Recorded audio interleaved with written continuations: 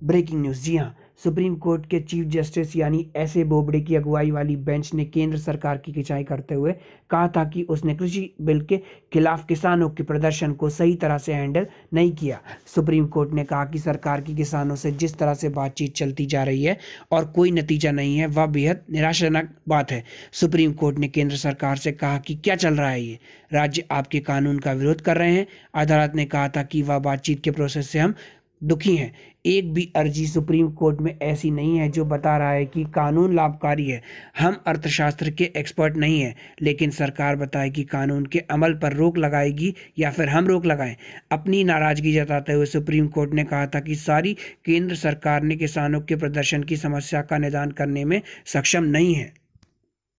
बड़ी खबरों को चंद मिनटों में देखने के लिए सब्सक्राइब करें सिर्फ़ डेली फटाफट न्यूज़ चैनल।